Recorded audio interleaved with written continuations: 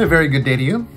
Dennis Nowicki here, reading another installment into a little niche in that vast and incredible mind of yours. Hope you're well. Today, we talk with Sheperd Paine. Actually, this is from a phone interview I made with him back in the mid 2000s uh, for Studium magazine. For those who don't know Shep, he was a guiding influence to budding and seasoned model builders for 30 years. He's best known by his magnificent dioramas that were covered in pamphlets like this one. Now, these came with monogram plastic armor and aircraft kits made in the 70s and 80s. I know he greatly influenced me in my days of active model building. He's published four popular books on modeling and had his remarkable work published in hobby magazines. Well, let's get to it. So, Shep, where did you grow up? I was born in Berlin, Germany, and grew up in New England.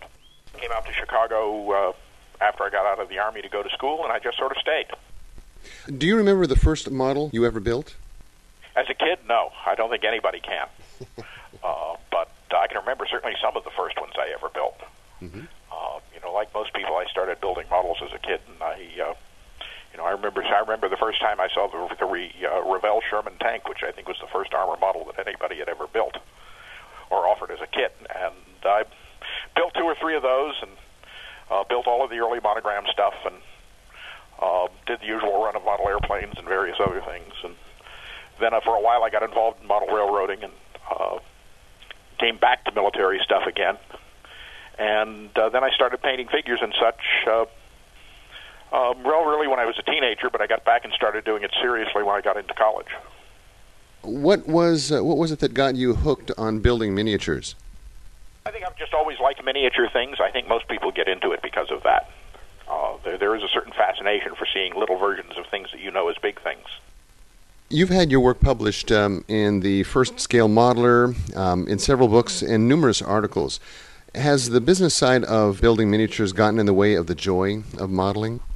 Eventually, it does, simply because anytime you have to do something, it becomes a job. Uh, when you're doing it as a hobbyist, or even when you're doing it as a part-time uh, person who's selling his work, uh, if you're not dependent on it for your income, if you don't feel like doing it, you just don't do it. Uh, if you're doing it for your income, uh, you know you have to maintain a certain amount of uh, of discipline, and you have to do it. You have to sit down and do it some days when you don't feel like doing it, and that does eventually start to wear on you. I basically got into it because it was fun, and when it stopped being fun, that's when I stopped doing it. You're best known uh, the world over for your quarter inch scale dioramas built for Monogram in the mid 70s. Could you tell us generally what it was like from when you received that commission up to the completion of these inspirational works? Well, I started. Uh, they contacted me for it. I didn't contact them. Uh, they had been looking for somebody to build build some dioramas to put some sheets in their kits, and uh, Monogram's headquarters at that time was in Morton Grove, which was only a short distance away from the Hobby Chest, which was the local figure hobby shop, and uh, one of the, one of their people was in the shop one time and saw some of the stuff that I'd done and said, well, you know, maybe this is the guy we ought to contact to do this. So they contacted me and uh, got me to work, and they were re-releasing all of their original uh, 35th scale uh, American armor, and so they got got me to work and basically doing a diorama for each one of those. And it, everything just sort of uh, went on from there. The, the sheets became popular, and uh, Shortly after that, they went to color sheets, and we did those for a number of years. The uh, circumstances under which those things were done was interesting because the time time scale was very short. Uh, you have to understand a little bit about the uh, making of plastic kits. Uh, certainly at that time, I'm not sure what it's like now, but at that time, um, it was a fairly complicated affair in that. Uh, everything had to be scheduled in such a way so that um, all of the various components came together at the assembly line at the right time in order to be packaged and shipped out. Um, what this meant was that the uh, as soon as the dies came in uh, and were ready to use, um, they would have to produce test shots, and I would work with the test shots and I had to be able to submit a diorama to them in time for it to be photographed and then uh, sent off to the printer so that it could appear on the box top as well as, or at least on the sides of the box top. They didn't appear on the top. Uh, but they would appear on the sides of the box, and they had to print the diorama sheets and everything else, and all of that had to be ready for the time when they started, uh, you know, packaging the kits to be shipped out. So what it meant in the in uh, from my standpoint was that I generally had a window of about a week in which to do these things. Wow. So affected to a certain degree what I could do, uh, which in many ways was was good because that kept me from doing projects that were really elaborate. Hmm. Every so often, I did get a little more time, and I would do a bit more of an elaborate project then if I had the time. But most of them had to be done in a week. Including the uh, P61 diorama? P61 was done in a week, yes. And in fact, the P61 um, was interesting because the test shots that came in, uh, the uh, there was some detail work on the wings that wasn't there when they sent me the first set of test shots, and the uh, so I had to work initially without uh, without part of the wings, and when they finally sent the shots to me, they had uh, they had been run off on a hand press. Uh, and they came in a sort of a marbled plastic with all sorts of different strange colors in it because they just mixed all the different pellets together. And uh, they were hand pressed parts, and that was what I actually used to build it. The the the other thing that was interesting with those was that the uh, the parts that they sent me were run off on whatever color plastic happened to be in the press at the time. Uh, so, for example, the Grant tank came through in bright blue, and the Panzer IV at one time came through in orange. I think they'd had a car kit or something like that on the on the press at the time, and uh, rather than change the plastic, they simply ran off the parts. What was your biggest challenge in creating miniatures in general? The figures are always the greatest challenge. They're the hardest thing to do. Uh, the rest of it is, is largely mechanical modeling, and while it certainly has its challenge of its own, modeling a human being is always more difficult than modeling a machine uh, because it's more of an art than a than a mechanical process. Do you have a favorite project that you've done over the years? I always used to say my favorite project was the next one, uh, but since uh, I'm not sure if there is a next one, um, I'd have to sort of look back on it. I don't think I would say I had. I had some that I enjoyed more. There were some that I thought were more successful than others. So I can't really single one out as being uh, as being successful. Uh, more being one of my favorites. Uh, some turned out well. Some I enjoyed working on. Um, it's really hard to say. What do you think of the hobby industry today with the countless aftermarket products, uh, significantly more accurate and complex kits, and the higher prices? Well, the higher prices are unfortunate. Uh, when I was when I when I was getting these kits, the prices were pretty low.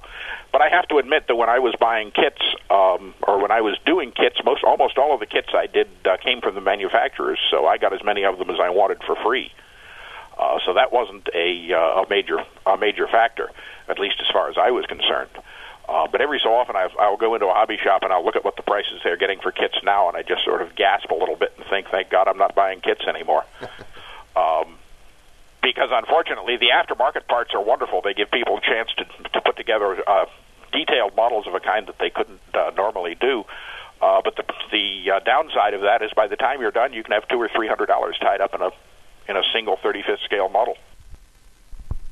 Now you're in the process of uh, publishing another book of your achievements in modeling. Tell us a little bit about that. Well, that book came about because my friend Jim DeRogatis was visiting one day, and uh, he was saying, well, you know, there really ought to be a book, you know, about one book about your work that covers all of it. And I said, yeah, well, I really just haven't had time to sit down and write it. I said, on the other hand, if you're willing to help, uh, you know, let's do it. So uh, by bouncing the ball over into his court, uh, he said, "Sure, I'll write it if you uh, if you submit to the interviews and put the pictures together." And that was how we did it. And it's basically a uh, a book of virtually everything that I've done. Hmm over the years, uh, whether it's in figures, whether it's in airplanes, whether it's in tanks. Um, you know, virtually everything I've done is in there one way or another. You can probably get it on Amazon when it comes out. Uh, it's uh, it's been announced. It's published by Schiffer. It's announced on their website. Um, it's on my website. It's uh, and it's supposed to be out sometime in uh, sometime this summer. They'd originally announced it for spring, but it's going to be running a bit late. Okay, well, so Shep, what's ahead for you? Oh, sitting back and relaxing for a little bit. Um, the uh, as far as modeling is concerned, I'm still active in the modeling world, even though I'm not doing a great deal of model work myself. Uh, I'm still involved in the shows. Um, I'm involved in uh, judging of stuff. Uh, I go to a limited number of shows, but I try always go to at least two or three shows a year, and uh, I think I go more to see my old friends more than anything else. Although it's always interesting to see what other people are doing. Uh, but uh, I'm still keeping active in the model world, even if I'm not necessarily doing much. Do you have any advice that you'd like to give to people who might be interested in moving into this kind of a hobby? Well, one of the things people tend to forget about a hobby when they really start getting deeply involved in it is they forget that it's supposed to be fun. Um, I've always joked that uh, for figure painters that the time their happiest time in the hobby is when they're painting lots of figures badly in the very beginning. And uh, the trouble is that as you get more deeply involved in it and you spend more and more time on your project, sometimes the fun goes away. And uh, the real I got involved with it was because it was fun, and I was able to keep it fun for a very long time. Uh, a friend of mine once said that the that a hobby, the, one of the reasons the hobby was fun was when you were learning something, and when you stopped learning something, that was when it started to pale a bit. And so, uh, the way to keep it fresh, I think, is to keep having new challenges and new things uh, to learn as you go, because that's what keeps it interesting and uh, gets you more interested in, in continuing on to your next project. Uh, I know, I know that uh, with most hobbyists, as with me, you learn a little bit with each one, and if you do that, uh, you suddenly find yourself being able to do things you never thought you'd ever be able to do, like scratch building figures. Never occurred to me when I started out that I'd be able to build figures from scratch. Yet within uh, four or five years, I was doing that.